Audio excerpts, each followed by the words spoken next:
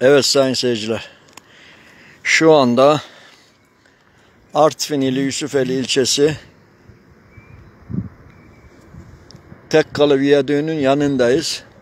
Tekkalı tüneline girmeden tam Tekkale Tekkale'nin karşısında şu anda gördüğünüz gibi Tekkale tam karşımızda geliyor.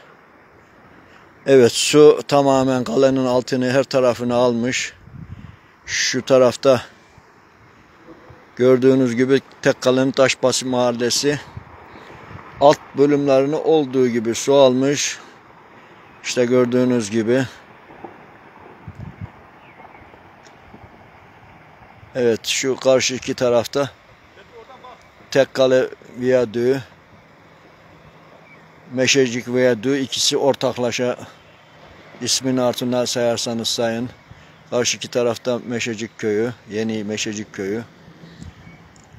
Evet, Yusufeli'nin Tekkale Köyü'nün Kayabaşı Mahallesi, Tekkale Kalesi, Dört Kilise Kalesi daha doğrusu şu şu anda gördüğünüz.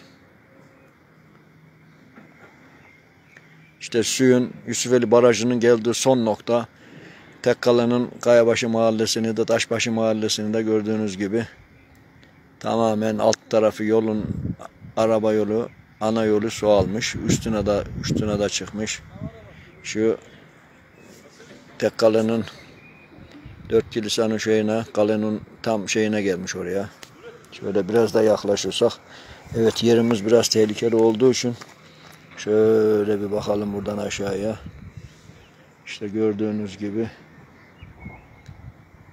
Evet. Tek kale şu anda gelen su seviyesi bu. Herkese selamlar, sevgiler, saygılar diyorum. Tek kaleden.